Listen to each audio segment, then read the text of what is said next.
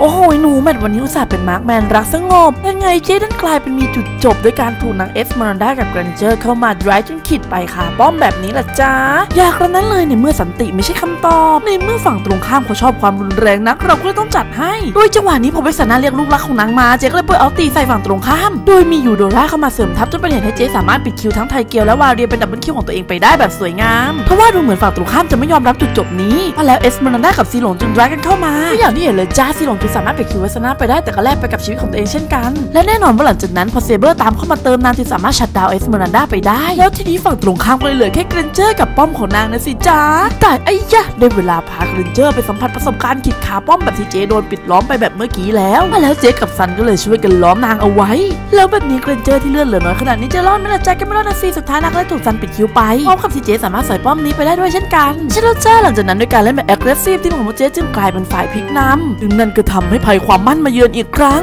เราคือทีมของเจตัดสินใจเปิดหลอดทั้งๆที่ทีมฝั่งตรงข้ามยังไม่มีใครคิดเลยเพราะว่าเห็นแบบนี้ทีมฝั่งตรงข้ามจึงพยายามจะเข้ามาขัดขวางเมื่อที่เซเบอร์ซึ่งเป็นป่าทีมเจตัดสินใจซุ่มอยู่ที่พุ่มเพื่อที่จะทุ่มโจมตีวาเรียและแน่นอนว่านางสามารถปิด kill วาเรียไปได้ ราคาที่ต้องจ่ายสำหรับ kill ในครั้งนั้นก็คือการที่เอสมอนันดาซึ่งเป็นป่าทีมฝั่งตรงข้ามสามารถอ้อมมาด้านหลังหลอดแล้วก็ขโมยหลอดไปแบบหน้าตาเฉย แม้ว่านางจะได้หลอดแล้วแต่ก็ดูเหมือนนางจะยังไม่พอใจนางจึงพุ่งตรงเข้ามากลาง team fight จะปิด kill ทั้งเจเวสซาน่าและยูโดราไปเป็น triple kill ของนางจ้าหนูและด้วยผลของ fight ในครั้งนั้นจะทำให้เกมบุกของทีมโมเจต้องชะงักลงว่าอย่างดีทีมโมเจยังคงประคับประคองสถานการณ์มาได้จนถึงนาทีที่หลอดตัวใหม่ได้เกิดขึ้นแล้วตรงจุดนี้เองดูเหมือนทีมโมเจจะต้องการหลอดเจเลยบอกให้ทุกคนรอเซเบอร์ก่อนว่าตัวนั้นเองจู่ๆเวสซาน่าก็มุ่งหน้าเข้าไปแล้วเปิดหลอดเองเลยจ้าเด็กก็แบบจะเอาจริงเหรอจ้ายังไม่มีใครโซนเลยนะเว้ยเพื่อนแน่นอนว่าขณะที่ตีๆกันอยู่นั้นไทเกียวก็มาเยือนตามที่เจคาดคิดเอาไว้ อย่างไรก็ดีด้วยความที่นางเปิดเข้ามาก่อนโดยที่ไม่มีใครตามสุดท้ายนางเลยต้องขิตไปแบบเปล่าประโยชน์โดยที่อยู่ดีๆเอสมันด้ากระโดดเข้ามากลางวง fight แล้วหลังจากนั้นนางก็พยายามจะหนีไป เจ๊จึงบุกกลับไปแล้วก็สามารถปิด kill ทั้งเกรนเจกับวาเรียไปได้เป็น triple kill ของตัวเอ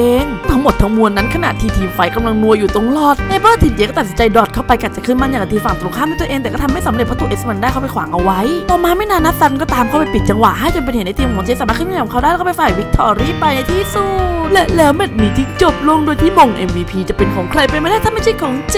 ว่าแล้วตอนนี้โคตรโลงใจเลยเพ่โอ้ยนึกว่าเมื่อกี้จะพลิกกลับไปแพ้ซะแล้วนะเนี่ยเธอ